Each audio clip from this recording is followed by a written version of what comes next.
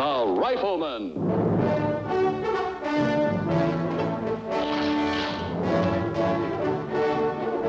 Starring Chuck Connors.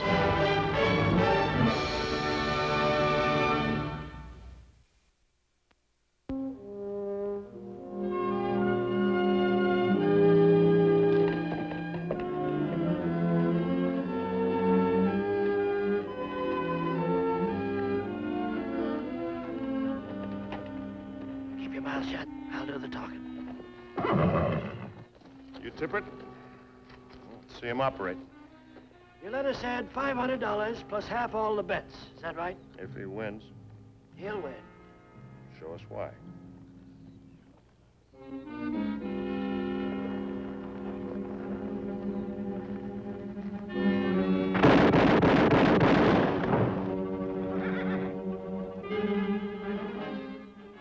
Who's going to beat him, Mr. Lewis?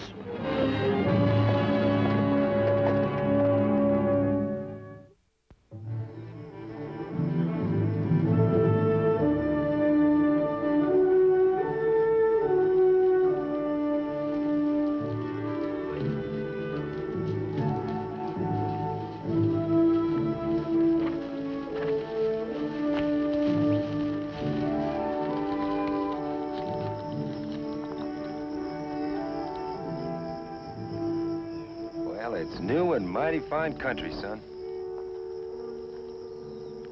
There's no looking back. We've come too far. I wasn't really looking back. Just remembering back.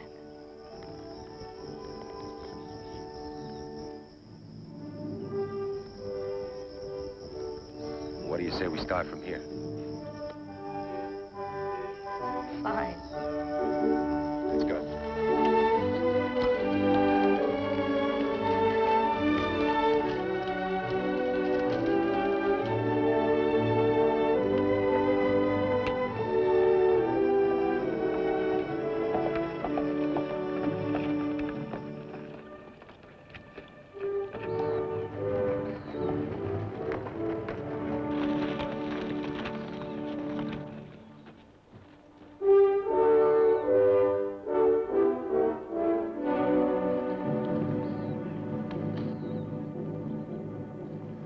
Let's take a look around, son.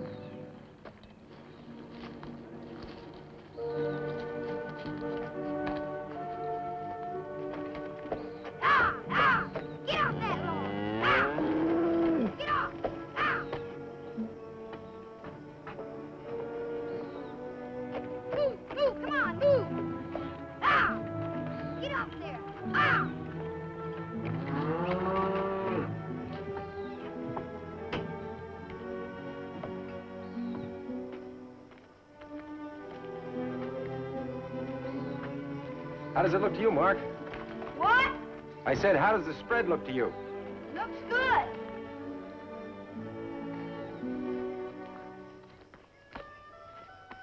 That's the way. That's the way. Yeah.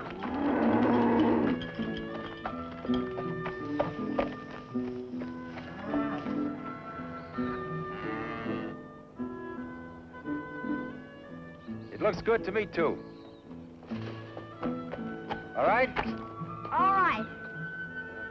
Come far enough.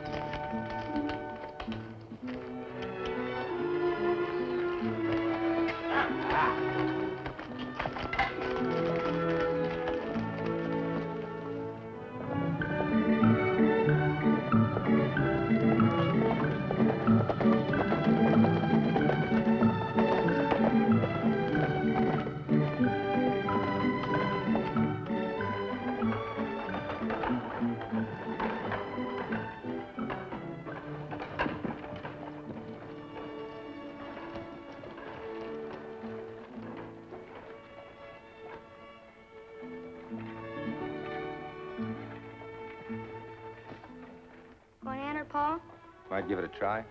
A little prize money could help make our first payment on the Dunlap place.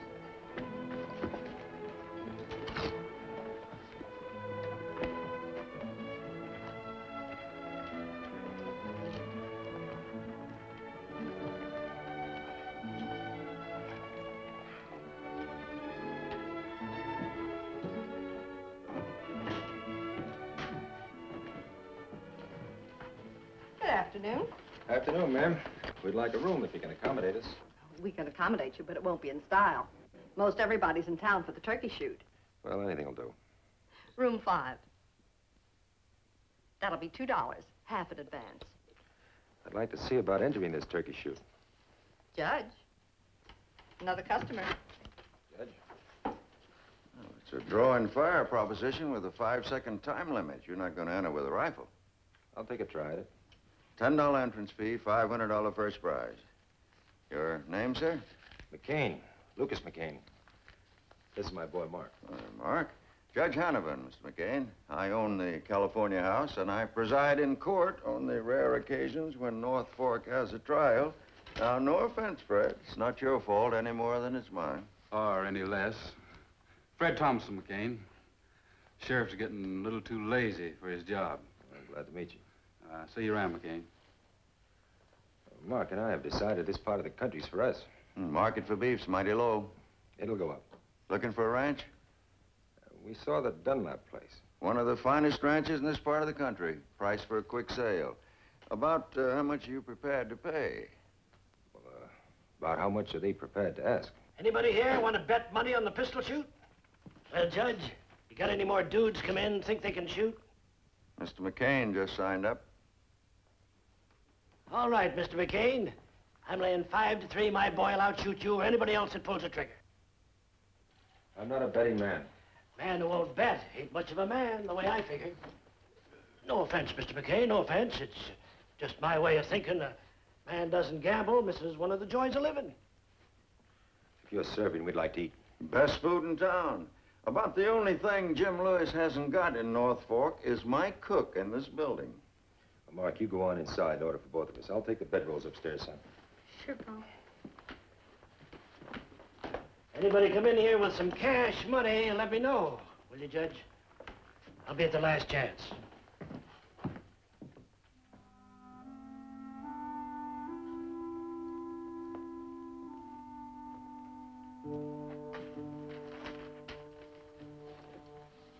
Would you like to come and sit with me? Yeah, I guess I might as well. I'll have some of that beef stew. I'd like to sing. I guess you must be pretty fast with that gun. Well, I guess I'm just about as fast as anybody there is. My pa, he doesn't use a pistol. He uses a rifle, but he's pretty fast, too. No man with a rifle is as fast a man with a six gun. My pa is. When we was living in the nations, they used to call him the rifleman. He's the greatest shot in the world. Well, he may stand tall where you come from, kid, but uh, he ain't shooting against no sodbusters. He's shooting against me. You'll see. What's your name? My name's Vernon. Mine's Mark McCain. Was that your the logger? No, he's my uncle.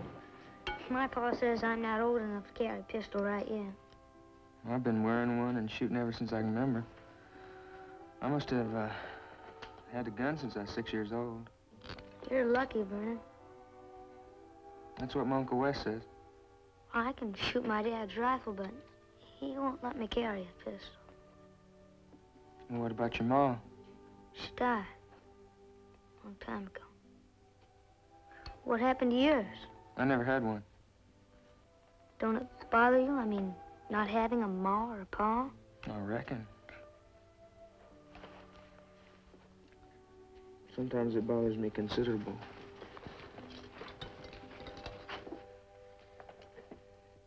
Sure it's McCain. I heard the kid say so. When I first heard that name and saw that rifle, something struck me. Then the kid All spoke right, up. Fred. This may be what we've been waiting for. We'll pass the word.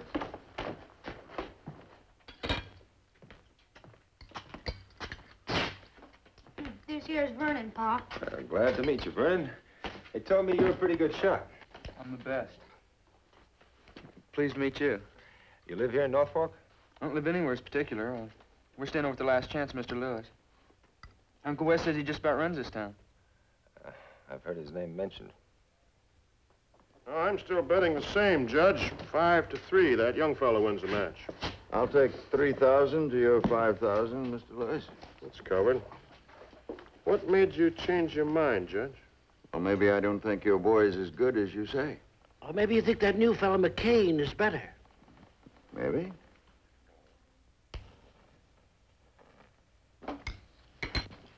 Did you ever shoot for money before, Vernon? You just don't bet against me, Mr. McCain. All right. Would you like some more pie? No, thanks. I'm full. I would. Please. Vernon, what are you doing sitting here? Get up and get out. I told you I didn't want any running off at the mouth of strangers. He was having lunch with my son. Did you hear me, boy? Get moving. It's time we're at the match. Uh, I'll have to come back for that pie later, man. Mark?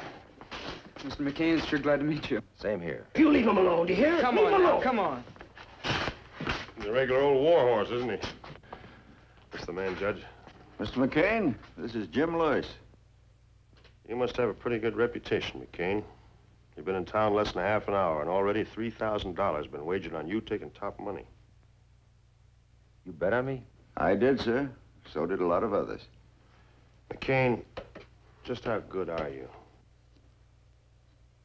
I'm good enough. I hope you're not too good. That would be a mite costly for you, wouldn't it? Let's go, Mark. Oh, you sit down, McCain. We haven't finished talking to you yet. You're wrong, Mr. Lewis. You finished talking to me a long time ago. Now, hold it, McCain.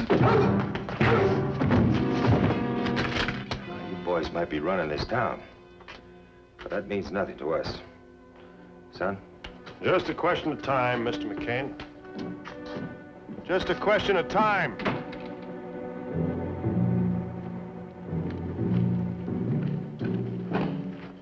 Hit him pretty hard, Paul. well, he was pretty big, son.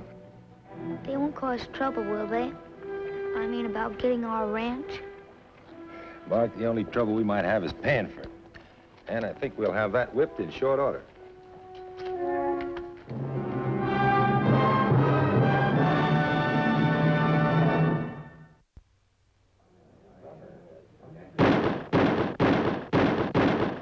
Two center, three near misses. Change the target. The next contestant is Carl Lamprey. Five shots, five seconds. Ready?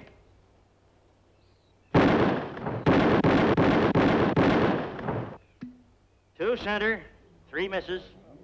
Change the target. Next contestant, Jim Lewis. Mr. McCain, could I speak to you a moment? Wait here, Mark. I just might win this match myself. Ready? What's the matter? Mr. McCain, Three center, one near miss. I think there's One something you ought to know about this town. Change the target. Belongs to Jim Lewis. All of it? Well, he tolerates me as long as I don't give him any trouble. I see. No, I'm afraid you don't. Lewis has been around here now almost four years. During that time, a lot of things have happened. A lot of people have been buried. He don't lose, Mr. McCain, not ever. You're not volunteering this information. No, I'm not. Why don't you take off that badge? The next contestant tell you why, is Mr. Bob McCain. Bickford. Because as long as I wear it, I can do a little good. Not much, but a little. And that's better than none at all. Two center, three near misses. Next contestant, Vernon Tippett. I'm up in the odds. Five to one on my boy. Any takers? Drawing fire. Five shots, five seconds. Ready? Five hits, all in the center. The next and last contestant is Lucas McCain. Step up, Lucas, and good luck.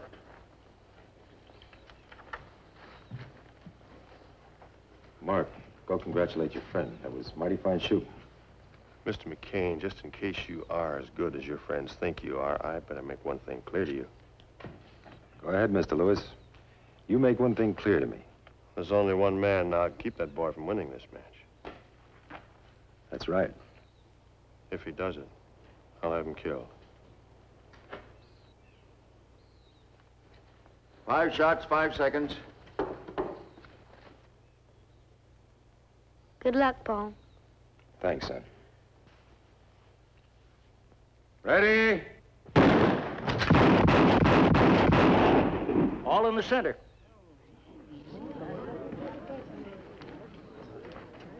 It's a tie shoot. Move the target back 20 feet. This time you'll really show him, Paul. Just dumb luck, that's all it was. Now you show him. Put him in again. Do you hear me? Ready.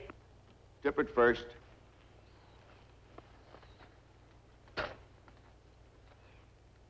Ready?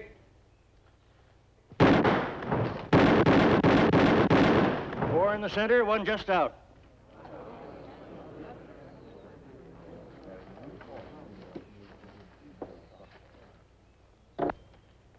Lucas?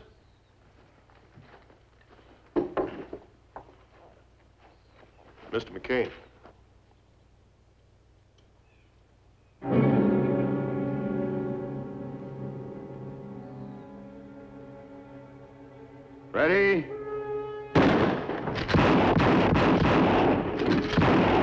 Four center, one way out. Congratulations. I told you so. Nobody beats my boy. It's all right, Pa. Guess you've got to miss once. Even that close. Let's go, son. That was good shooting, Lucas, in any case. That was good shooting, McCain. As good as any I've ever seen. I say you don't go away feeling unhappy. Here's the ten dollars it cost you to enter the match. If you ever feel like working for us again, you just feel free to ask. I'll make that 20, Mr. Rifleman, because I figure you really earned it.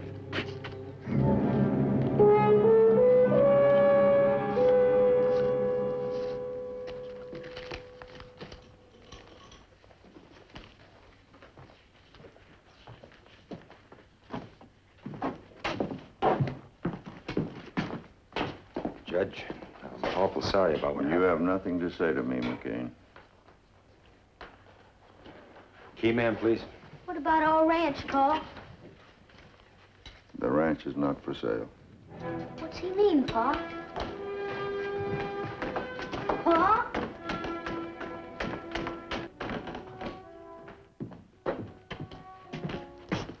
Mark, where's your dad? Stairs. What's the matter? Nothing. Did you hear the talk about him throwing the match? I don't care what the talk is. It's not true. Well, I gotta ask him personally.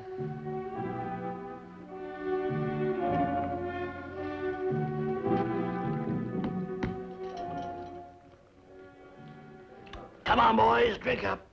I'm buying. All right, Mr. Lewis, how about paying Mr. Tippett what you want? You got your $500 for winning the match. What else do you want? You know what I want. Still got your letter saying I get $500 plus half of all the money won. You collected over $10,000 in bets. That means 500 plus 5,000 for Uncle Wes. Pay up before I get rough with you. What do you mean by rough? You know just what I mean. I'll call my boy in here and turn him loose. Oh, I wouldn't want that. Hmm. I'll make a bet with you. You see that picture up over the bar? I think you're so drunk you couldn't hit the floor with your hat, but if you can put a 45 slug through that picture, you'll get your money plus another thousand besides. Otherwise, we forget the whole thing. That's a bet.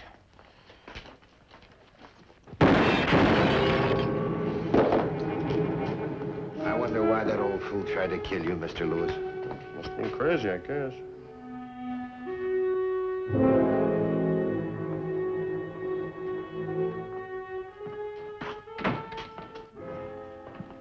Listen, Mr. McCain, there's something I want to ask you, and I'd like a straight answer.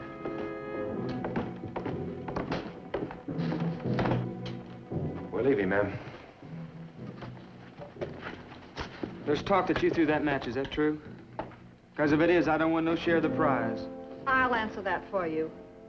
Mr. McCain did not throw the match. That's right. The best he could. Just wasn't good enough. I hope that's answer enough for you, Vernon. Well, it ain't. I want you to tell me. Hey, kid. You'd better come over and get your uncle's body. He uh, just got himself killed. My uncle? Yeah. Tried to outdraw Jim Lewis.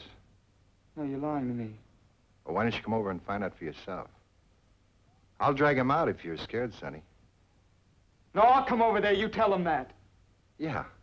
yeah I'll tell him that. And you, mister, I ain't forgetting about you. Get out of here. Don't go over there, Vernon. I gotta get my uncle. Vernon! You asked if you beat me fair and square in that match. You still want an answer? Yes. Why, you wet-nosed, two-bit little punk, you couldn't whip me in ten years. So don't go spouting off about going into that saloon. Get out of here! You just shut up and listen. I want you to stay here. And if I don't come back, that boy of mine is your responsibility. You get on our horses and get out of here. You understand? I'm not asking you to do this, Vernon. I'm telling you. If you want to start something, you start it with me right now.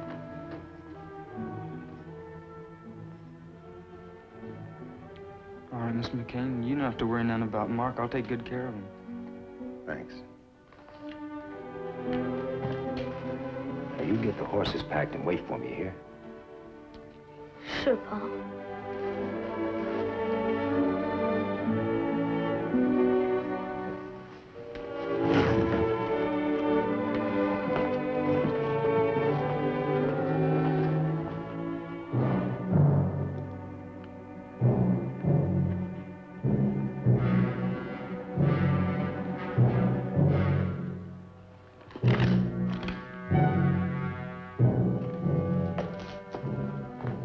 Coming, Mr. Lewis. It's McCain.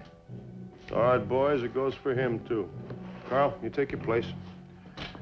Oh, when he passes him the drink, you uh, start the party. It'll be my pleasure.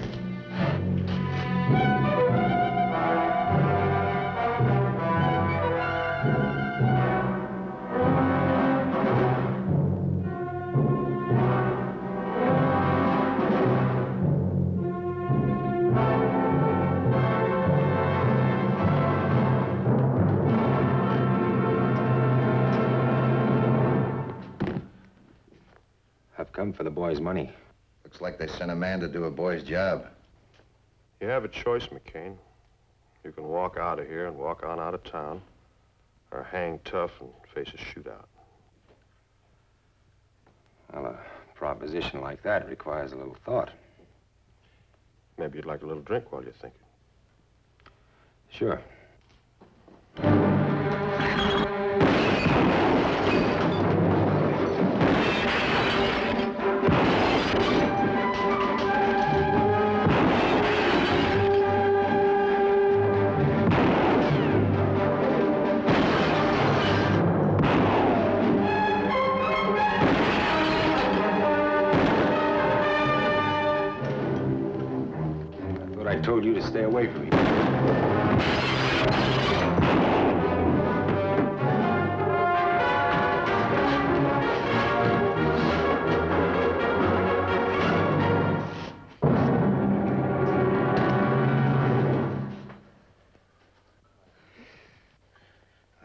Too bad, Vernon. But the wrist may heal a little stiff. No. It'll be all right. Maybe so. Mr. McCain, will you do me a favor? If that boy yours, Mark, ever gets any funny ideas, you tell him that I said he's the lucky one. All right, I will. Good luck to you, son.